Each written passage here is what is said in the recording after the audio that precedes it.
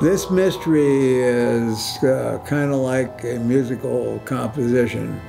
If you're missing a note or two, you probably wouldn't be able to make sense of it all.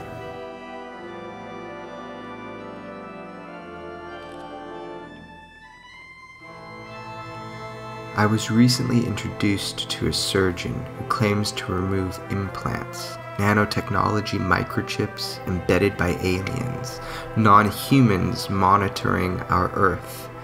He talked about abductions, scalar wave transmissions, and a program to study or manipulate the human race. I was eager to verify the authenticity of this alleged off world implant technology.